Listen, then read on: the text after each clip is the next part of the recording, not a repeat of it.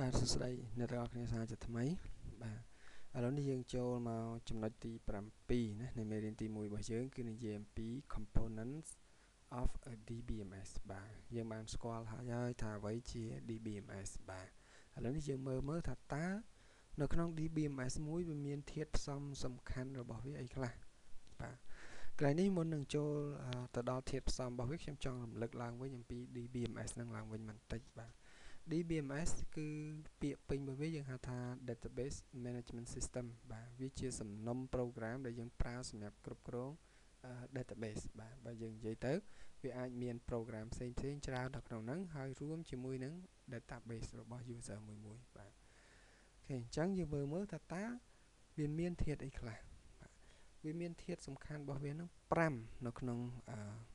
database បាទ DBMS ណា បាទវាមានធាតុសំខាន់5ទី1ដើម្បីឲ្យវាដំណើរការបាន គឺវាត្រូវមាន hardware បាទយើងដឹងថា DBMS សម្រាប់ store ទិន្នន័យហើយទិន្នន័យទាំងអស់តាមពិតគឺយើង store នៅក្នុង hard drive នៅក្នុង disk មិនអញ្ចឹងអញ្ចឹងដើម្បីមាន disk មានអី store បានវាត្រូវការ hardware ហ្នឹងហើយអូខេអញ្ចឹងធាតុទី1ធាតុទី1ដែលសំខាន់គឺ hardware ដែលត្រូវត្រង់ត្រួតត្រង់ DBMS បាទធាតុទី2គឺ software បាទ software ហ្នឹងគឺ គុំមកទាំងអស់ណា program របស់ DBMS ហើយនឹង tool ផ្សេងផ្សេងណា OS ហើយនឹង network អី software ផ្សេងផ្សេងដែលឲ្យ DBMS នឹងដំណើរការគឺចាត់ទុកជាផ្នែក software បាទក្រៅពី software យើងចាប់ផ្ដើមមានរបស់មួយពិសេសយើងហៅថា procedure បាទ procedure នេះគឺជា rule ណាដែលធ្វើការគ្រប់គ្រងទៅលើ DBMS បាទ DBMS ត្រូវមានប្រភេទទិន្នន័យយ៉ាងម៉េចបាទ column ណាដែលប្រើជា foreign key ត្រូវដាក់លក្ខខណ្ឌយ៉ាងម៉េច column ណាជា primary key គេដាក់លក្ខខណ្ឌយ៉ាងម៉េចអានឹងគឺជា procedure ណា procedure ជានីតិវិធីសម្រាប់យើងធ្វើការគ្រប់គ្រងនិងរៀបចំទៅលើការ design របស់ DBMS បាទអូខេអញ្ចឹងយើងបាន3ហើយណាទី1គឺ hardware ទី2 software ទី3គឺ procedure នៅសល់2ទៀត user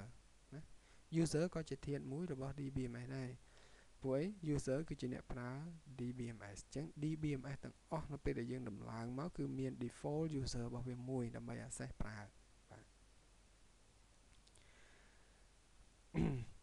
ហើយចុងក្រោយ DBMS គឺត្រូវមាន data ណាអានេះគឺជាធាតុផ្សំដែលសំខាន់ជាងគេរបស់ DBMS ណាបើយើងមានតែ DBMS អត់មាន data ក៏អត់មានអីដែរបាទ data ហ្នឹងគឺជា ទិន្នន័យដែល user គាត់ប្រើហើយគាត់រក្សាទុកនៅក្នុងហ្នឹងបាទអញ្ចឹងវាអាចជាស្អីផ្សេងផ្សេងដូចជាព័ត៌មាន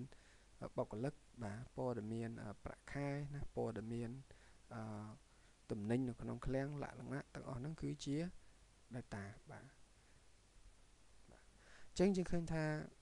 ធាតុទាំង5នេះគឺសុទ្ធតែពឹងពាក់គ្នាទៅវិញទៅមកណាអាស្រ័យគ្នាទៅវិញទៅមកបើអត់អាណាមួយគឺវាពិបាកនឹងដើរណាវាដើរបានឧទាហរណ៍ដូចជាអត់មាន hardware គឺ យើងដើររួចទេបើមានតែ hardware អត់មាន software ក៏អត់ដើរមាន hardware មាន software ហើយអត់មាន data ក៏អត់មានន័យអីដែរមាន data ហើយអត់មាន user ក៏ទាចូលប្រើអត់កើតអត់មានអ្នកប្រើណា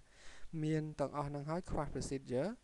ក៏អត់អាចធ្វើការគ្រប់គ្រងរៀបចំ design backup database អីយ៉ាងម៉េចឲ្យមានរបៀបរៀបរយអាចដំណើរការបានក៏អត់កើតដែរបាទអញ្ចឹងទាំងអស់ហ្នឹងគឺជាធាតុសំខាន់សម្រាប់គុំឲ្យវាដំណើរការទៅមុខបានបាទ